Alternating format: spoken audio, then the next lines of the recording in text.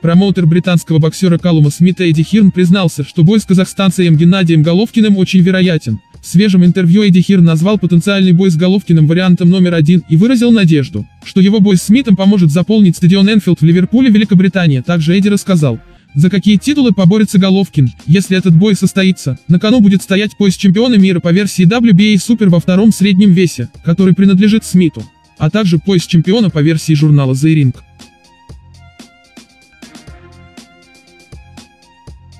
Бывший абсолютный чемпион мира в двух весовых категориях Эвандер Холлифилд провел параллели между собой и действующим абсолютным чемпионом мира в первом тяжелом весе Александром Усиком, отметив, что сравнивать свой потенциал и потенциал украинца было бы не совсем корректно, так как речь идет о разных эпохах. Сложно судить о нем потому, что увидел я, но он здорово завершил бой с Белю. Он боксирует более расслабленно, в то время как я был агрессивен, он боксирует 12 раундов. В то время как я готовился к 15, его удары короткие, но он не пробивает так много комбинаций, как это делал я и его руки кажутся не такими быстрыми, как у меня. Но мы говорим о двух разных эрах. И сейчас пришла его эра, он лучший в свое время. Я не буду допускать неуважительные высказывания. И заявлять, что я бы смог его победить, нужно быть реалистами. Этому бою никогда не бывать. Приводит слова Халифилда Баксинскин.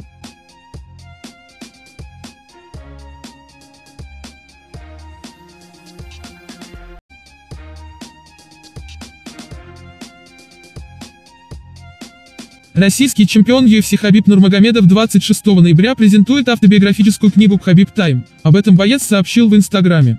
Дорогие мои подписчики, очень рад объявить о том, что моя автобиография «Хабиб Тайм» готова и подписана в печать. Мы работали над книгой два года.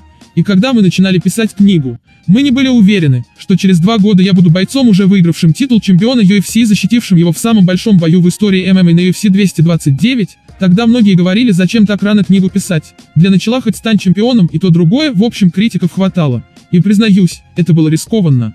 Но на данный момент эта книга имеет место быть, так скажем. С небольшим волнением жду, когда смогу держать ее в руках. А презентация книги состоится уже 26 ноября в Хабиб Тайм, написал Нурмагомедов.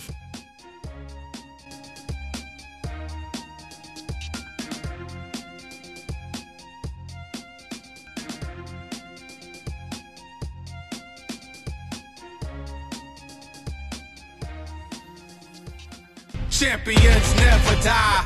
Through it we survive and finally arrive.